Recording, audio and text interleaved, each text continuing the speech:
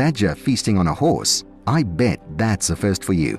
You know what won't be a first though? A cat terrorizing humans. So up next, we have also called the false saber-toothed cat or terrible cat. This so-called cat prowled the ancient landscapes of Africa and Eurasia around 5 million years ago.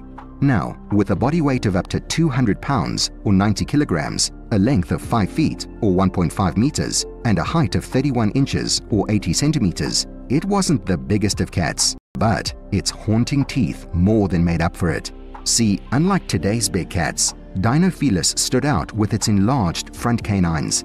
Though not as large as those of true saber-toothed cats like Smilodon, these dagger-like teeth, combined with its robust body, made Dinofelis a formidable predator capable of taking down prey much larger than itself.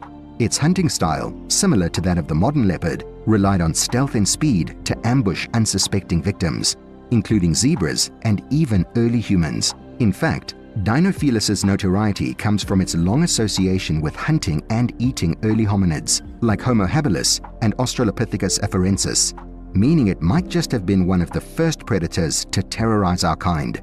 This has been proved by the Dinofelis remains found near the Paranthropus fossil skulls in South Africa, a few of which have peculiar twin holes in their skulls, matching the Dinofelis upper canines spacing almost exactly.